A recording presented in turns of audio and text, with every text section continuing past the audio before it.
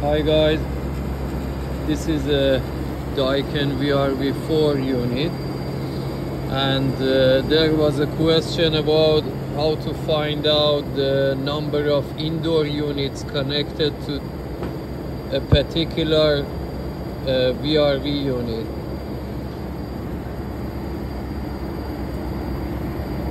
We got the function settings on the outdoor if you push once it will display it goes into monitoring mode.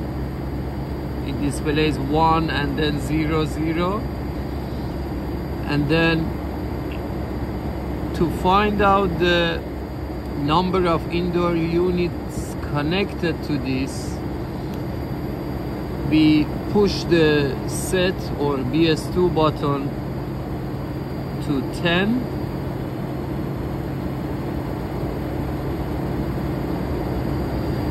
and then usually if we push the return button it will display the number of indoor units connected. But if we push it on this unit it will display zero. And the same is for this unit.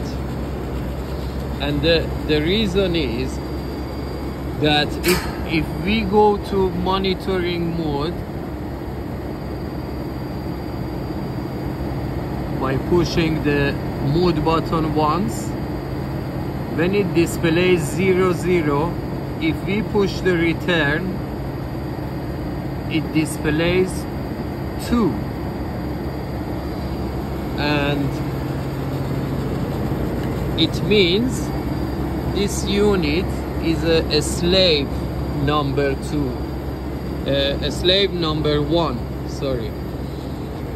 And this unit the one next to it displays one. And this unit which should be a master it displays zero. It means we got one master unit and two slave units. And only on the master unit you are able to get the function settings values such as number of indoor units connected. So if I push the mode button again it comes out. And if I push it once and then if I go to number 10 10 and I push return it displays 24 it means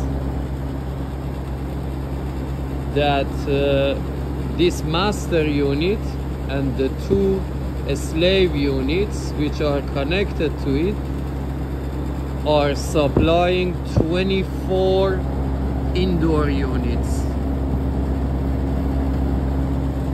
And because the master unit is in charge of all the process the slaves are not able to give you the number of indoor units